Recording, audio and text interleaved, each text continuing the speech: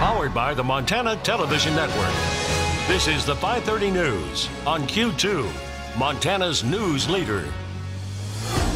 Good evening and thanks for joining us. I'm Russ Riesinger. And I'm Jeanelle Slade. Today's snowfall undoing all the shoveling, plowing, and de-icing from the past day. And as it continues coming down, coating streets, cars, and walkways, a winter wonderland with some less than wonderful driving conditions out there. Well, it's a bit behind schedule, but it finally looks like winter here in Montana. And snow falling across the city, stacked on top of Monday's six inches. In turn, also covering up ice and slush, making for slippery, messy driving conditions today. And once again, bundled up homeowners and business owners armed with shovels and snow blowers are forced to clear their walkways. The conditions also impacting crews trying to repair a water main break on the south side of Laurel. Crews are working hard to get the water restored, but no word on when that will happen. And we just received word that about 1,700 people are without power in Carbon County in the Belfry and Red Lodge areas. And tonight, as commuters are beginning to leave work, it's an important reminder to take your time and allow plenty of space. City crews working 12 hour shifts will have more than 20 plows clearing streets tonight. All right, we're joined now by Q2's Rob Griggs, who has some important information on our travel conditions. Rob? Yeah, Russ, Jeanelle, first of all, this is standard operating equipment. If you're going to be out here tonight, Q2 Chief Photographer Paul Humphrey brought this shovel along in the Q2 news rig, and it's already kind of come in handy. It's a heavy, wet snow, and the dynamic's different from Monday because it's an evening snow, so the commute home was much different than this morning's commute. Now, ironically, uh, city uh, plows are out there taking care of the streets even as we speak. If you go to the Facebook page, the city has a City Public Works Facebook page that will show the entire map of the city, all six zones, and they'll show you where they've started the plowing process working clockwise throughout the city. The good news is every storm that we get, they start in a different zone, so everybody gets to be first at some point. But the idea is to take it slow and be patient with one another. We also have alternate school bus stops tomorrow in effect, uh, but this is a very slippery, dangerous street out here tonight on uh, Lewis Avenue and 8th. We've already had a couple of vehicles get stuck. We've been pushing some trucks out of here, believe it or not.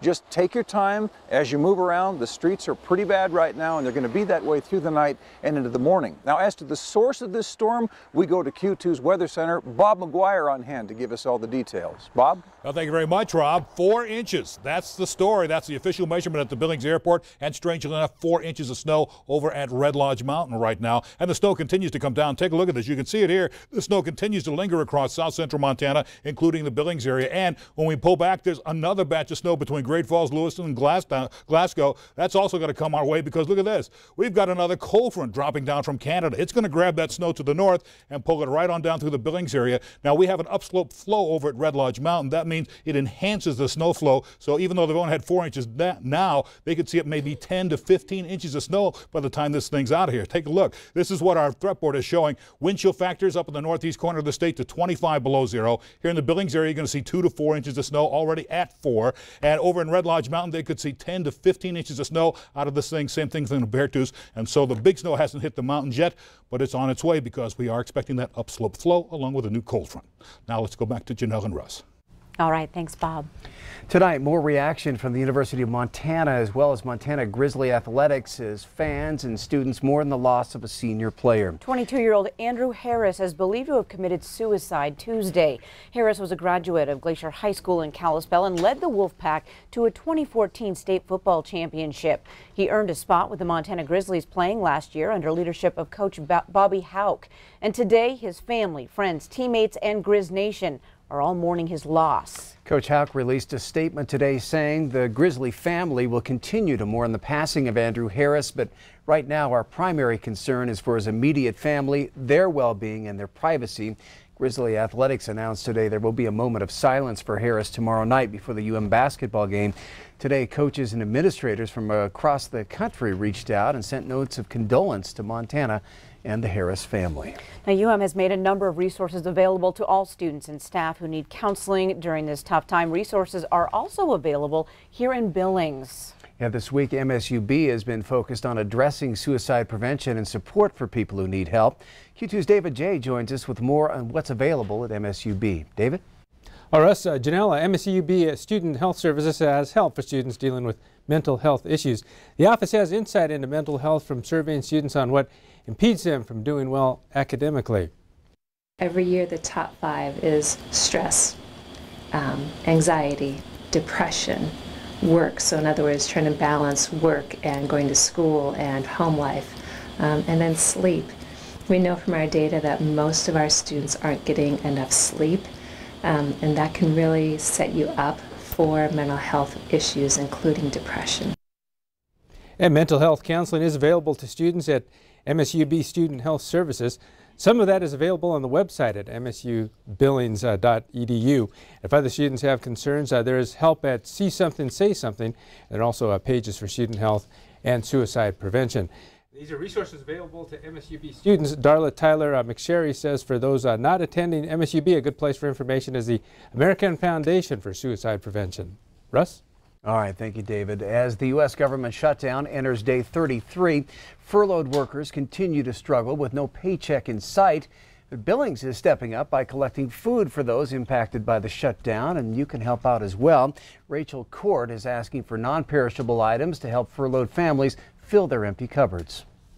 It's, it's so frightening for families, I think, because they, other than food, they have insurance to pay for, car payments to pay for, mortgages to cover, um, there's just there's so many things, and oftentimes food, your nutrition, gets put on the um, the back burner. And when you're buying things like diapers and medications and uh, other things that are very necessary.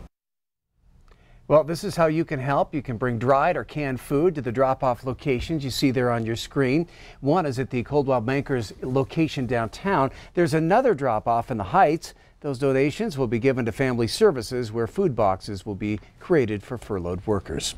Well, the government shutdown isn't only impacting furloughed workers, but also local businesses who depend on those clients. Sarah's Mexican restaurant in downtown Billings has seen a decrease in customers since the shutdown began five weeks ago. At this time during the day, the restaurant is seeing its lunch rush and on a normal day. The owners say there's a line out the door. Now, today, the restaurant is quieter than usual. Luis Moran says since the shutdown, his business has dropped 40 to 50 percent.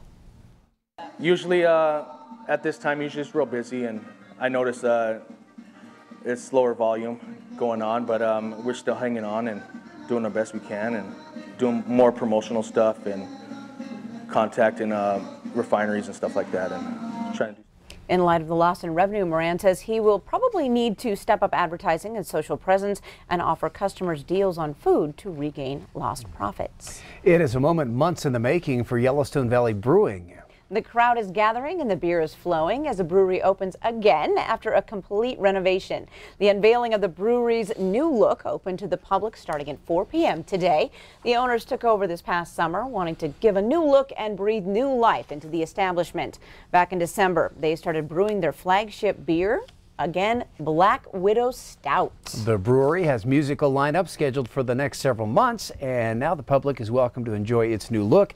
There is still time to enjoy the opening. That celebration goes until the brewery closes tonight at 8 o'clock. Coming up on tonight's 530 News, legislators hitting the books to increase state funding for public schools. We'll find out those details. And Scott will join us a little later in sports. Stay with us. You're watching Q2 News at 530. You're watching MTN News with Jeanelle Slade and Russ Riesinger. Storm Tracker weather with Bob McGuire. And sports with Scott Breen. This is the 530 News on Q2, Montana's news leader.